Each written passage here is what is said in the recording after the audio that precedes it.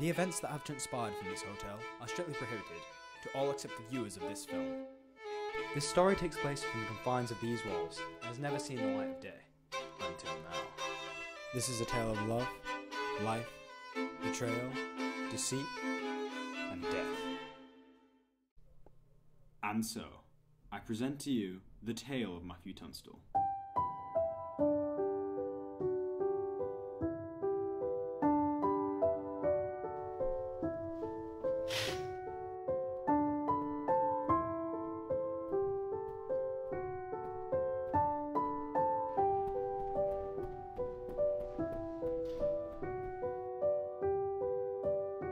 Ah, Mr. Tunstall. How are we today?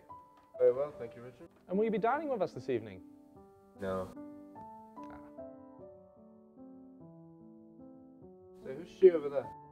Oh, Miss Aruba Blur. She's been staying here while our house is fumigated. Is she dining alone tonight?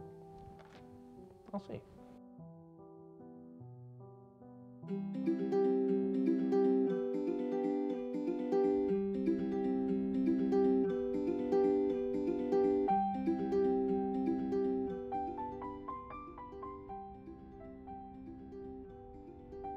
And what will serve you having? Um, I'll have the scallops, please. And for the lady? I'll have the fromage and hot cream. Right away. You know I did the same thing last time I was here. Really?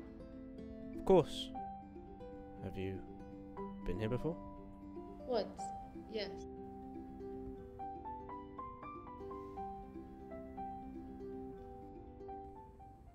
I must say, sir, I found you quite charming. You must join me in my room.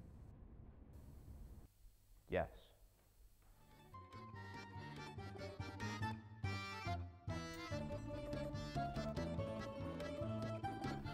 Esther, I've been a fool. I, uh, I... Him? Irene, this is it.